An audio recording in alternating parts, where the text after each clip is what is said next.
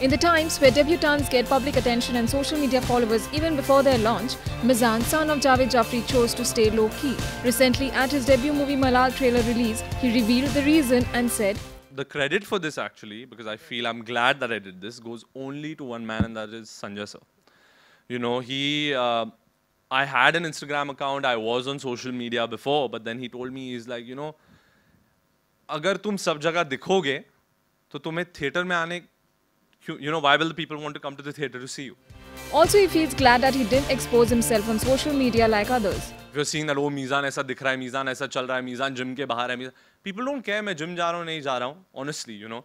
But at the end of the day, they want to see what Meezaan looks like, and that's what they've come now to see in Malaal, you know. And if I've already exposed that on social media, which I've, i think people are doing, and I don't think they should be doing, but uh, you know, and um, I'm, I'm glad I did that you know, I'm, i was not exposed on social media. Directed by Mangesh Hadawale, produced by Bhansali, Malaal also stars Sharmin Segal. It is releasing on 28 June.